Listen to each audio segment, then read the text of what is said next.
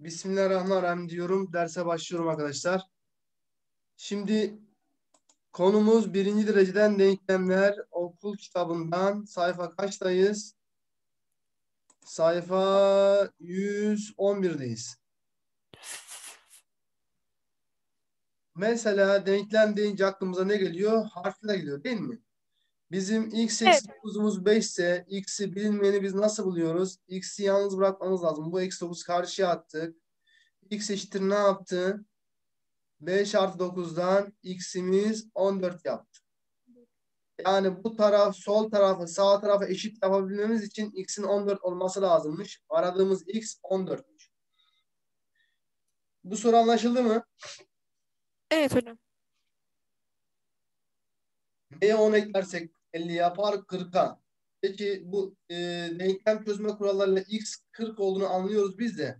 Formüllerle biz bunu nasıl bulabiliriz? x eşittir 50 eksi 10 diyoruz. x'imiz bak 40 bulunuyor. Gerçekten 40 yazdığında 40 artı 10 50 eşittir 50. İki tarafta birbirine eşit olabildi. x'imiz Evet. 40'mış. Burada 3x 21 ise x nasıl bulunur? Her tarafı 3 lira bölüyorum. x'im 21 bölü 3'ten 7 yaptı. Eksi 5x 15 ise x'i ben nasıl bulurum? Her tarafa eksi 5'lere bölüyorum. x'imiz de buradan 15 bölü 5'ten 3. Önünde eksi var eksi 3 yaptı. x eksi 11 4 ise x'i nasıl bulurum? Eksi 11'i karşıya atarsam artı 11 diye geçer. x buradan 15 yapar. x artı 7 10 ise x nasıl bulunur? 7 karşıya atılır. x yalnız kalır. 10 eksi 7'den x'imiz 3 yaptı. Eksi 2x eksi 100 eşittir eksi 14 ise x sormuşlar. Eksi 100'ü karşıya attım. Eksi 2x eşittir. Artı 100 eksi 14. Eksi 2x eşittir. 100 eksi 14 86 yapar. Eksi 2 lira bölersek her tarafları. x'imiz 86 bölü 2'den 43. Ama eksisi var. Eksi 43 yapar. Eksi 3x artı 15 18 ise x kaçtır? 15'i karşıya attım. Eksi 3x eşittir. 18 eksi 15 yaptı. Eksi 3x eşittir 3 yapar. Her tarafı eksi 3'lere bölersek x'imiz eksi 1 yaptı. 5x artı 20 sıfırsa 20'yi karşı attım. 5x eşittir. Eksi 20 yapar. Her tarafı 5'lere bölersek x'imiz ne oldu? Eksi 20 bölü 5'ten eksi 4 yaptı. 20 eksi 5x eşittir eksi 15'miş. x sormuşlar. Şu 20'yi karşıya attım. Eksi 5x eşittir. Eksi 15 eksi 20. Eksi 5x eşittir. Eksi 35 yaptı. Her taraf eksi 5'lere bölersem x'imiz 35 bölü 5'ten 5. Eksi eksiden artı 7 yapar. Değil mi? 3x eksi 5 10 sa eksi 5'i karşıya attım. 3x eşittir. 10 artı 5 yaptı. 3x de buradan 15 oldu. Her tarafı 3'lere bölersek x'imiz 5 yaptı. 6 artı 2x 24 ise x'i bulmak istiyoruz. 6'yı karşıya attım. 2x eşittir 24 eksi 6. 2x eşittir 18 oldu. Her tarafı ikilere bölünce x'imizi ne bulduk? 9 bulduk arkadaşlar. 9. Evet 3, hocam. 6, 9, 12 soru çözdük. Bu 12 soruda herhangi anlaşılmayan bir yer var mı? Yok hocam. Tamam o zaman. Yok hocam.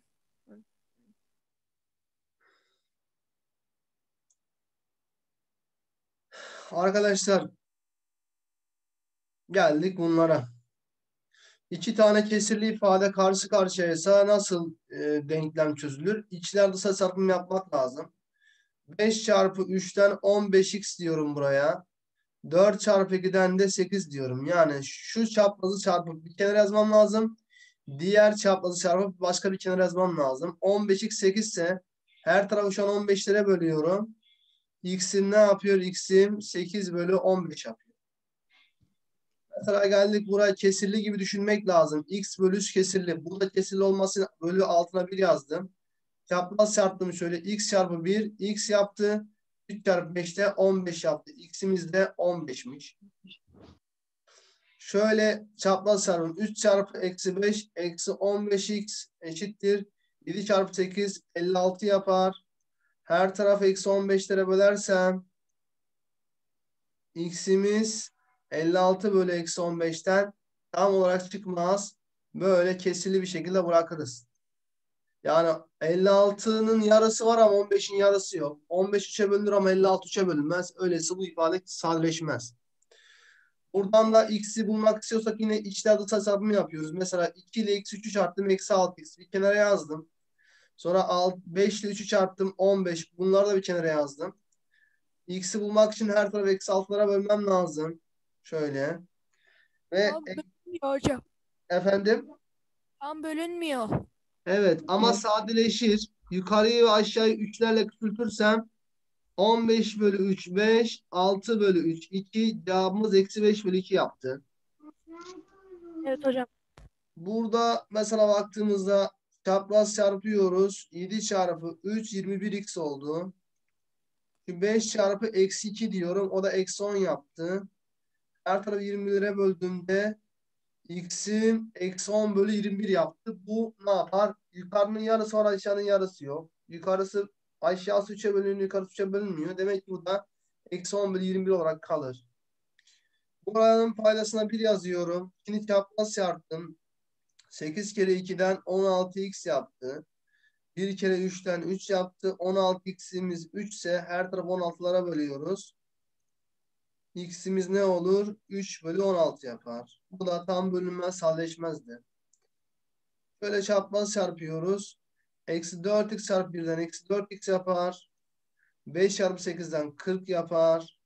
Her tarafı eksi 4'lere bölersek x'imiz 40 bölü eksi 4'ten eksi 10 olur.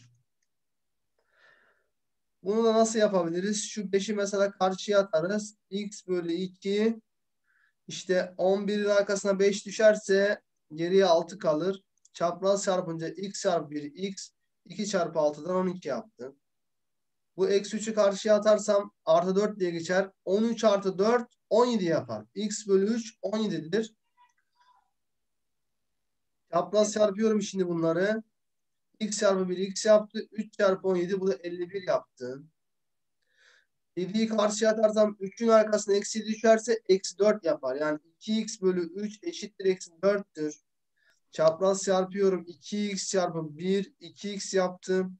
3 çarpı eksi 4 eksi 12 yaptı. Her tarafı 2'lere bölersek x'imiz de buradan 12 bölü 2'den 6 yapar. Eksimiz var cevap eksi 6 olur. Zor. Eksi 4'ü karşıya atarsam artı 4 diye geçer. 8 artı 4 12 oldu.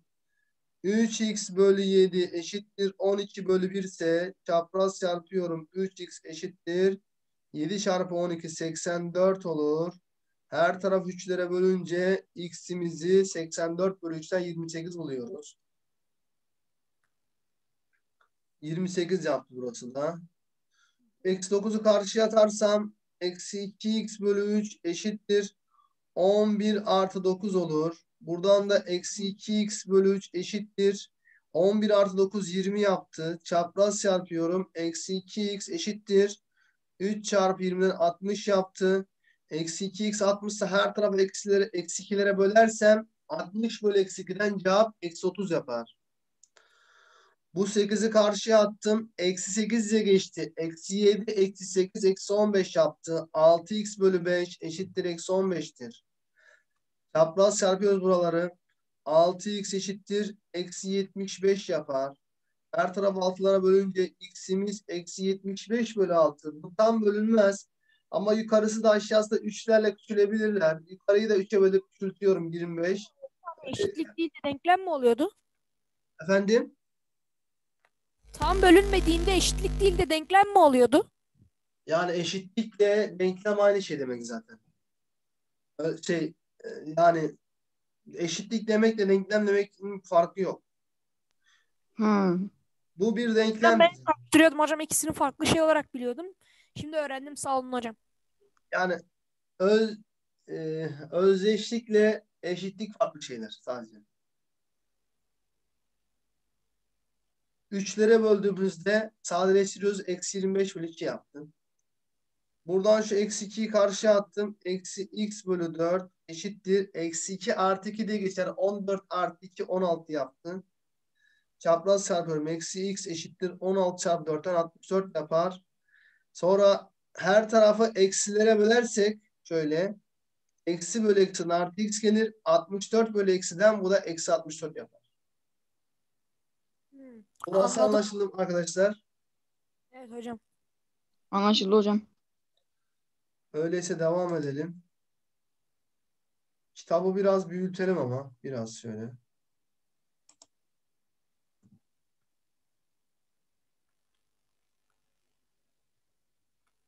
Üçüncü alıksırma yapalım arkadaşlar.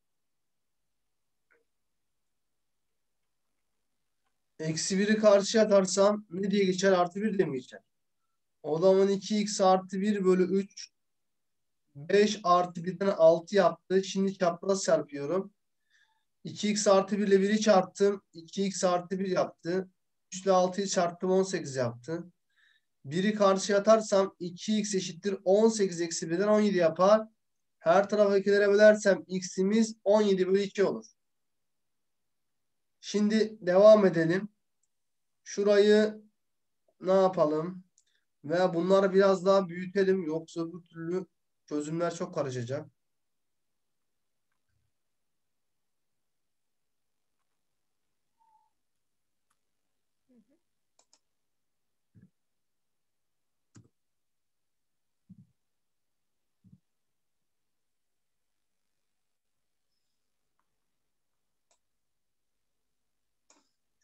Şimdi kaldığımız yerden devam ediyoruz. Burada 2'yi diğer tarafa atarsak 8 eksi 2'den bu tarafta 6 kalır. Burada ise 2 eksi x bölü 3 kaldı. Şimdi çapraz çarpıyoruz. 2 eksi x ile 1'i çarparsam 2 eksi x olur. 3 ile 6'yı çarparsam 18 yapar. 2'yi diğer tarafa attım. Eksi x eşittir. 18 eksi 2. Eksi x eşittir 16. Eksi x 16 ise her tarafa eksiye bölünce normal x'imiz eksi 16 yapar arkadaşlar. Anlaşıldı mı?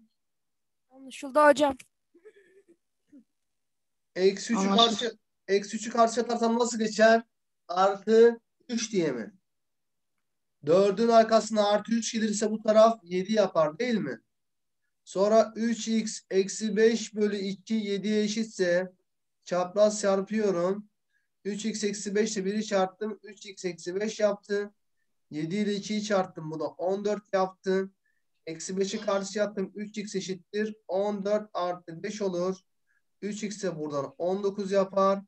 X bulmak için her tarafı 3'lere böldüğümüzde x'imiz 19 bölü 3 oldu. Ne sadeleşir bunlar ne de birbirine bölünür. Bu böyle kalır arkadaşlar. Böyle kalır değil mi hocam? Kesinlikle. Şimdi şuradan devam edelim. 9 bir asal sayı hocam o yüzden hani 19 tam bir şeye bölünmez. Evet. Şuradan devam edelim. Çapraz çarpıyorum. 5 kere 3 15. Eksi 5 kere x eksi 5x eşittir 4 çarpı 4 16.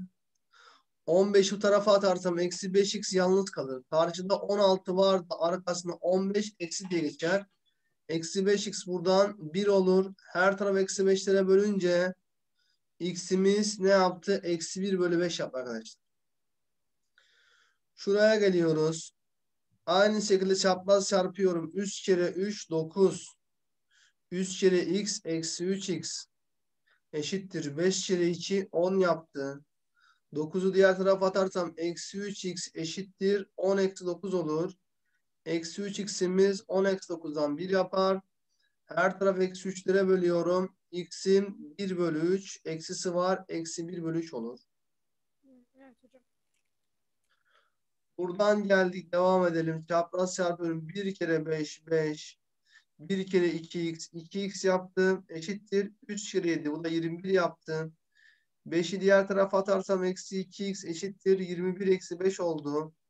Eksi 2x eşittir. 21 eksi 5'ten 16 yaptı. Her tarafa eksi 2'lere bölmeliyim x'i bulmak için. X'im de 16 bölü 2'den 8 yapar. Ama eksimiz var. Eksi 8 olur. Buraya geldik. Çapraz çarpıyoruz.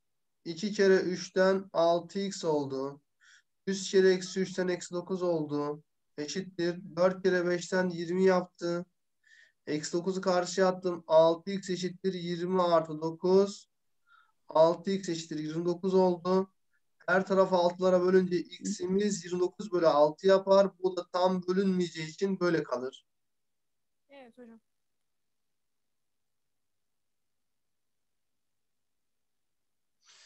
Buradan eksi 5'i karşıya atalım öncelikle.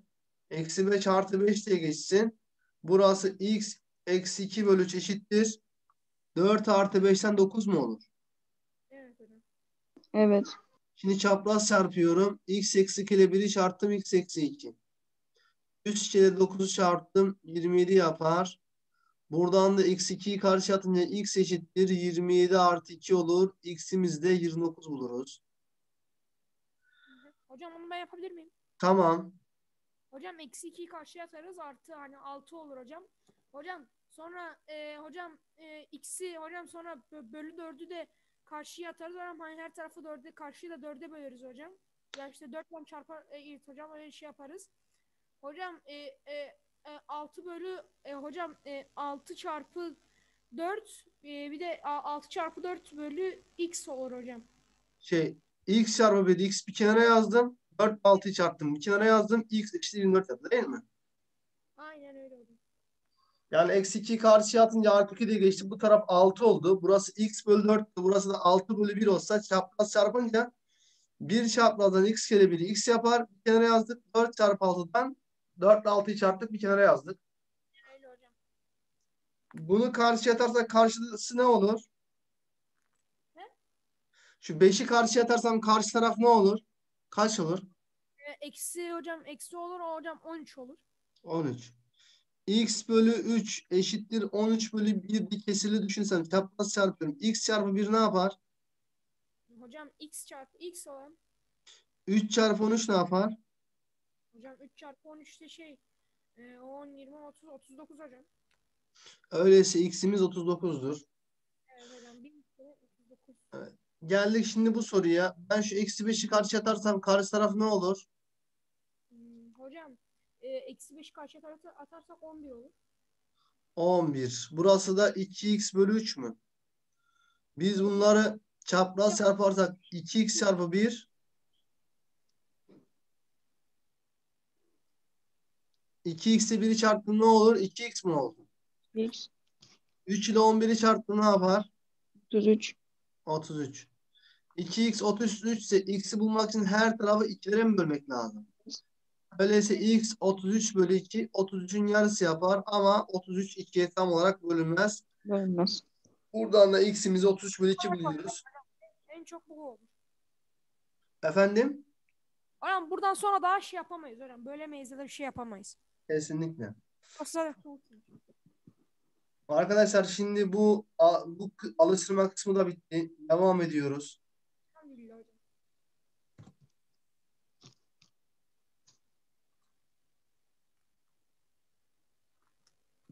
Şimdi sıra sizde dördü çözelim.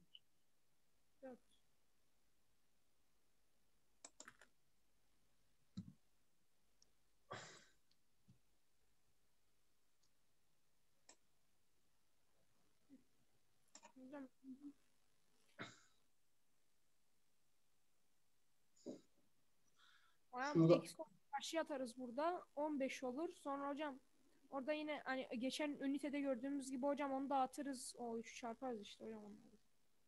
Evet bir saniye şey. Heh.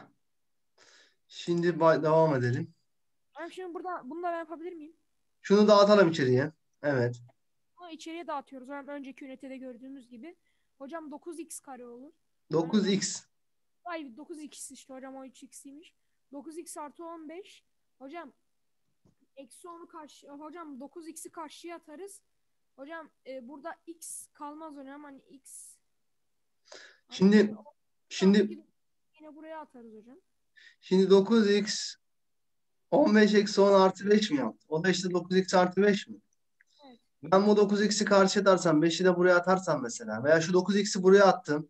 Şu 5'i de bu tarafa attım. 9x eş, eksi 9x eşittir 5 eksi 5 oldu mu? Bu da 0 eşittir 0 yaptı mı? Yaptı değil mi? Şimdi bizim burada bu, bir x bulabildik mi biz? Hayır hocam. Ama gördüklerime göre bu sonuçlar birbirine eşit mi? Evet hocam. O zaman tüm sayılar bu denklemi sağlar. Evet hocam. Mesela 1, 2, 3, 4, Evet, 5. x x'e ne yazarsan yaz bu denklem hep birbirini sağlıyor. Çünkü x'ler birbirine götürüyor. X'ler birbirini götürüyor. En son kalan sayılar birbirine eşit oluyor. Şimdi devam edelim. Şuna gidebiliriz. Hani şöyle bir şey var hocam sıfır aslında bütün sayıları içerir diye. Hani öyle bir mantıkla da gitsek bütün sayılar eşittir. Hani sonsuzluk eşittir sonsuzluğa gibi bir şey oluyor değil mi hocam?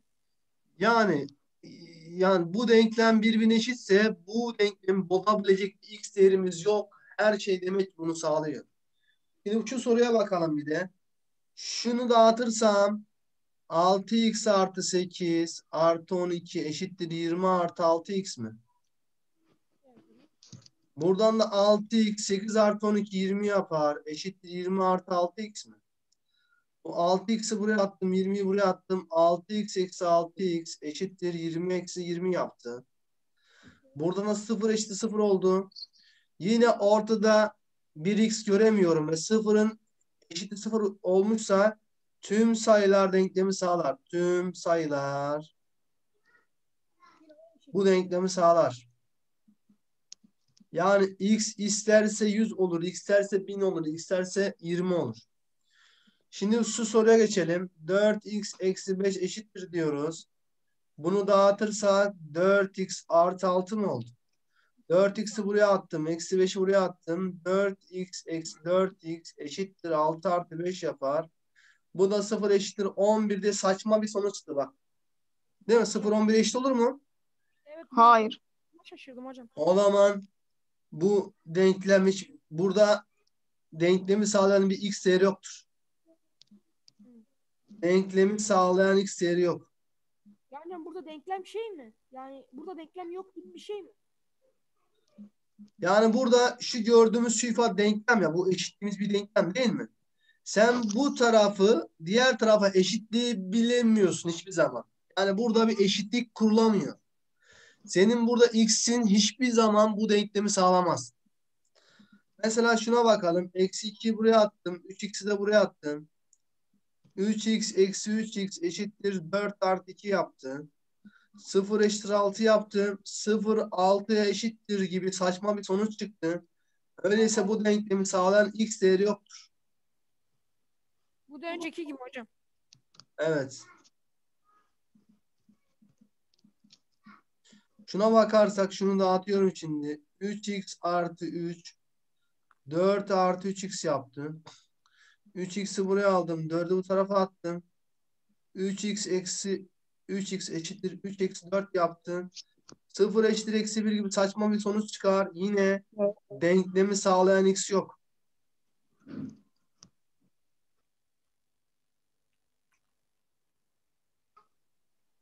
Eğer ki 0 eşittir 0, 5 eşittir 5, eksi 6 eşittir eksi 6 olursa olsaydı bu denklemi sağlayan her değer x, x, x her bir değeri alabilir olurdu. Tamam mı? Ama sonuç saçma çıkınca denklemi sağlayan hiçbir x'imiz olmuyor. Eğer ki x kaybolmuşsa ya hep bütün x'ler sağlar ya da hiçbir x sağlamaz. Bak bunu dağıtıyorum şimdi. 6 eksi 3x eşittir. 7 eksi 3x oldu. Eksi 3x'i buraya aldım. 7'yi buraya aldım. Eksi 3x artı 3x eşittir. 6 eksi 7 yaptım. 0 eşittir eksi 1 yaptım. Böyle bir eşitlik olamayacağı için saçma bir şey çıktığı için eşitliği sağlayan x değeri yoktur. Hocam isterse oraya trilyon getirsin ama yine o eşitsizliktir hocam. Evet sağlayan x yoktur arkadaşlar. Burada her şeyi sağlıyor. Burada hiçbir şey sağlamıyor. Bak. Ya her şeyi sağlar ya hiçbir şey sağlamaz. X'ler kaybolmuşsa. Bu anlaşıldı mı şimdi? Anlaşıldı hocam. Bir yan tarafta şurada iki sorumuz daha var. Onlara da bakalım.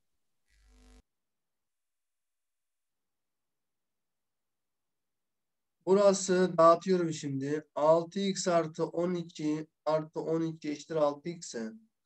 6x artı 24 eşittir 6x'e. Bu 6x'i buraya aldım. 24'ü buraya aldım. 6x eksi 6x eşittir. Eksi 24 yaptı. 6x eksi 6x 0 yapar. 0 eşittir eksi 24 diye saçma bir sonuç çıktı. Demek ki sağlayan x yok. Yok hocam imkansız. Bak burada da kendisi yine benzer bir örnek yapmış. Eksi 10 eşittir eksi 64 bir şey çıkmış. Birbirine eşit olmadığı için verilen denklemin çözümü yoktur. Yani sağlayan x yoktur demek tamam mı? Evet. Denklemin çözümü yoktur demekle sağlayan x yoktur demek aynı şey. Hmm. Ben bu x'i buraya aldım. Eksi 11'i buraya aldım. x eksi x eşittir 10 artı 11 yaptı. 0 eşittir 21 oldu. Böyle bir şey saçma olduğu için sağlayan x değerimiz yok. Evet hocam. Hocam şimdi bu bu tip şeyler ileride e, işimize nasıl yarayacak? Hani bu x hani şeydir yoktur diye bir şey. Şimdi sana denklem verip denklemin çözüm kümesi ne diyecek veya sağlanan x değeri kaçtır diyecek. Sana şıklara yazar. Her değer sağlıyor. Hiçbir değer sağlamıyor. Ne bileyim 3'tür cevap, 5'tir cevap diye. Ee, senin ne yapman lazım? Denklemin çözümünü bulup doğru çık işaretlemen gerekir. Yani sana bu soruyu verip bak sana şu soruyu verip bu denklemi sağlayan x değeri kaçtır dese A şıkkı mesela 1 yazsa, B'ye 2 yazsa, C- D'ye 3 yazsa, D'de sağlayan x yoktur dese yani şöyle boş küme yapsa sonuca senin direkt D Hı. işaretlemen lazım. Yani 1, 2, 3 cevap olamaz. Evet. Zaten ben bunlara arkadaşlar değineceğim size. Siz merak etmeyin. Biz şimdilik bizim bu ilk turumuz. Tamam mı? İlk birinci Evet. turumuz olduğu için siz böyle ana hatlarıyla konuyu bilin. Gerisini getireceğiz. Şimdi ilk turda işte konuda ne kadar bir zorluk var, neler var, neler yok bunları başlangıçta bir görün. İkinci turda de- daha detaylı işleyeceğiz bunları. Sıra sizlerin arkadaşlar 5. kısmına geldik. Böyle bir şey varsa burada kesirliyse buranın kesirli olması için çap, altına 1 yazıyorum. Ve şu an çapraz çarpıyorum arkadaşlar. 3 çarpı x 3x yaptı. 3 kere 1 artı 3 yaptı. Eşittir. 1 çarpı 2x 2x yaptı. 2x'i buraya aldım. 3'ü buraya aldım. 3x eksi 2x eşittir. Eksi 3 yapar. x'imiz de buradan eksi 3 bulunur. Anlaşıldı mı? Evet. Evet. Burada bir değer var yani hocam. Bu Evet. daha öncekilerinde x kayboluyordu. 5 eşittir 9 gibi saçma bir şey çıkıyor diyorduk ki o zaman böyle bir şey olamaz. Çözümümüz boştur diyorduk. Ama bu sefer x'lerimiz kaybolmadı. Bak şimdi şöyle yapalım. Şöyle yapalım. 3 kere 2'den 6x 2 kere 3'ten 6x eksi 4 çarpı 2'den eksi 8 yaptı. Şöyle çapraz çarptım. 6x. Böyle çapraz çarptım. 6x eksi 8 oldu. 6x'i buraya alsam 6x eksi 6x eşittir eksi 8 yaptı. 6x eksi 6x 0 yapar. 0 eşittir eksi 8 diye saçma bir şey çıkar. Demek ki burada x sağlayan x yok. Evet. Yani x kaçta da x yok ki. Boş. Boş. Sağlayan bir x'imiz yok. bizim. Anlaşıldı mı arkadaşlar? Evet. Bazen x bulunabilir. Bazen x bulunmaz. Hiçbir şey denklemi sağlamaz. Bazen arkadaşlar her şey denklemi sağlayabilir. Geçiyorum şimdi.